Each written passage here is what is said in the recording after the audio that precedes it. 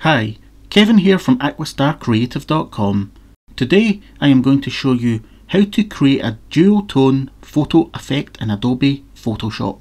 Okay, so I have my image ready. Let's convert it to monochrome. Press D on your keyboard so that black is set as your foreground colour in the Tools panel. Go to Layer, New Adjustment Layer, then select Gradient Map.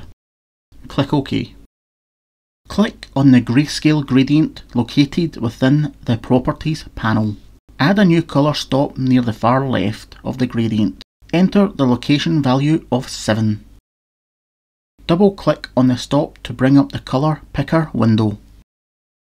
For our shadows I'm just going to enter a dark blue. The hex is 1F2D4D. Click OK. Now drag the white colour stop to a location of 90%.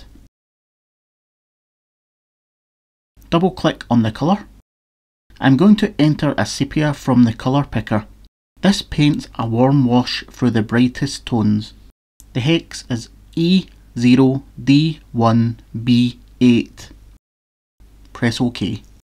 And there we have it, a duotone effect is applied. We can experiment with various colour combinations to get some really cool results. Simply click on the gradient editor and change the stop colours. Here is a red and blue combination.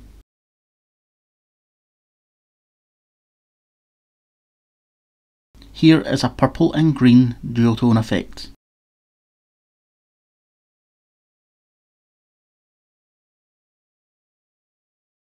I'm Kevin from aquastarcreative.com.